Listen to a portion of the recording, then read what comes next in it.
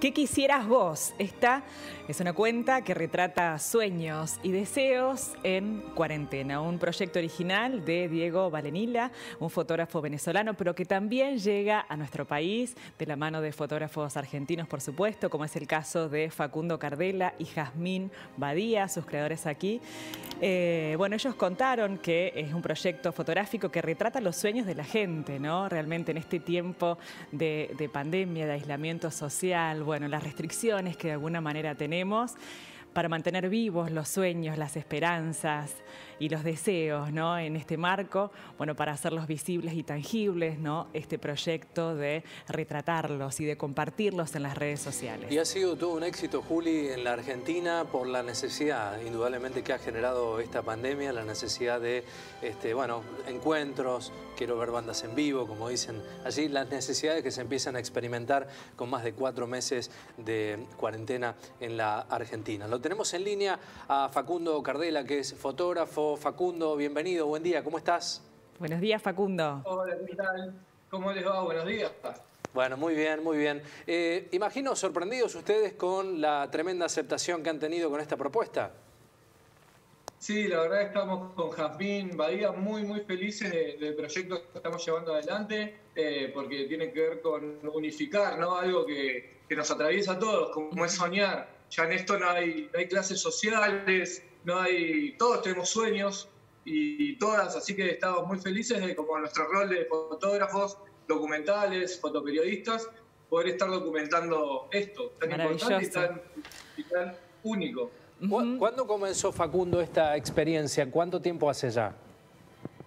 No, no te digo mucho, ¿eh? hará tres semanas, como muchísimo tres semanas y recibimos inmensidad de, mensajes, de mails y de mensajes directos de, Instagram para distintos puntos del país donde nos envían sus sueños y nosotros aquí donde estamos en el AMBA, justo en el lugar más fuerte donde ataca la pandemia, eh, también moviéndonos siempre con cuidado, yendo a las casas y desde una distancia o mismo desde afuera de las casas, les tomamos los retratos. ¿Los sorprendió de alguna manera, Facundo, el impacto que ha tenido bueno, esta iniciativa? Porque vemos que no solamente son los más jóvenes, sino que todos se, engancharon de alguna manera y tuvieron la necesidad de retratar ese sueño, ese deseo y compartirlo al mismo tiempo. Sí, claro, claro que sorprende y sobre todo sorprende desde lo más común, eso que teníamos en la, en la cortita, en la cotidiana, que, era como un abrazo, poder salir, de repente poder ir a tomar una cerveza con amigos o amigas. Eh, eso nos sorprendió como los sueños que vivimos cada día. La vida es un sueño literalmente porque si se extraña esto es muy, importante poder comunicarlo. ¿Cuál de los mensajes que han recibido de las fotos más les impactaron a ustedes en la recepción de los mensajes? Hay, hay frases muy profundas. Sí, sí, también eh, uno que subimos a una historia estos días, que una chica que, hace make-up y se estuvo maquillando para tres horas, tres horas y media, haciendo un trabajo eh, facial para que nosotros la podamos retratar desde el otro lado del teléfono, ni siquiera que podamos acceder hasta su casa, pero tres horas para poder compartir su sueño de poder volver a pintarse. Eso nos, y todo lo que está llegando. Está pasando algo muy, muy lindo, que es poder compartirle el sueño. No solamente es ellos expresar su vida, nosotros tratar desde nuestro pequeño grano de arena cambiarle su vida, que eso es lo importante. ¿Cómo se potencian y se enriquecen los sueños cuando se comparten, no, Facundo? En tu caso, ¿qué quisieras vos? A ver, seguro te lo preguntaste.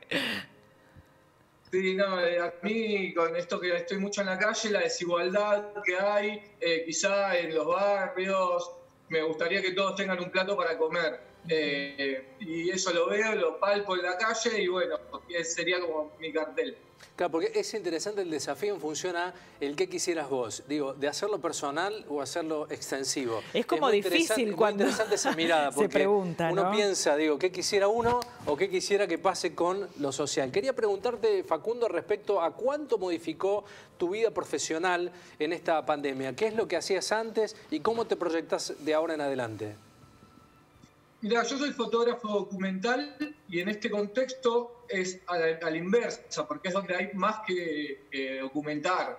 en mi Instagram, Facu Cardela Fotos. Ahí estoy contando un poco las problemáticas que viven distintas, que atraviesan desde los cartoneros en su fuente laboral hasta gente que sale a pedir otro punto de vista que no es el del gobierno y también lo documento, porque entre este hecho histórico eh, es importante es un registro creo que, que nos va a atravesar ni mi abuelo, ni mi padre, ni yo en este país hemos vivido esto. Entonces creo que tengo el desafío y el deber, tenemos con Jazmín, el desafío de poder contar y a su vez paralelo este proyecto de del optimismo, de, ver el sueño de cada persona. Claro, pienso en esto de la transformación que nos sucede a cada uno de nosotros a partir de esta pandemia. Y el cómo salir va a implicar mirar la vida desde otro lugar. Ustedes, eh, estoy pensando, van a incorporar esto a su actividad profesional. Esta mirada también va a tener una forma de incorporación a su vida diaria de aquí en adelante.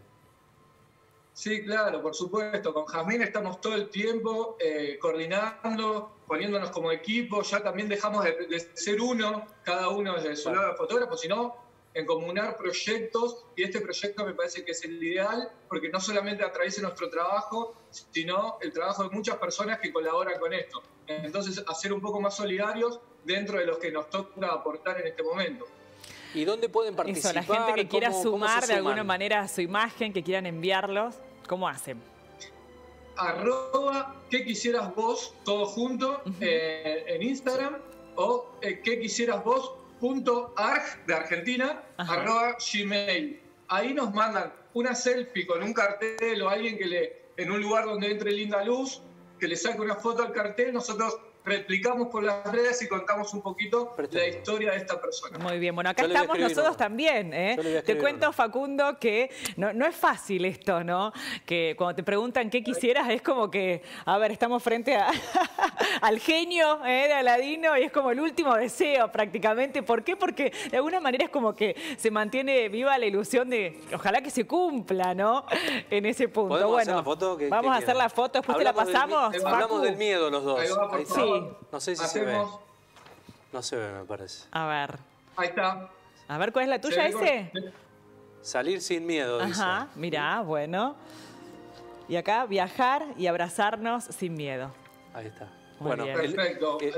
directamente lo compartimos en nuestras redes y agradecemos ya este espacio para nosotros y nosotros es muy, muy importante la difusión para poder seguir documentando que algo que es de todos y de todas, que es soñar. Y eso no hay que perderlo nunca y es nuestro lema. La verdad que, no. A ustedes, gracias eh, por traer a nuestro país bueno, este proyecto bueno, tan, tan lindo, ¿no? Para, para invitarnos a soñar y a pensar en eso que deseamos y que tanto queremos y para trabajar en pos de eso. Tomar birra, dice. En medio de esta pandemia, claro. Bueno, válidos todos los, los deseos y los sueños, ¿no? En este, ¿qué quisieras vos? Un abrazo enorme, Facu. Un gusto conocerte. Mantenernos al tanto de tu trabajo. Claro que sí, estamos en contacto, gracias.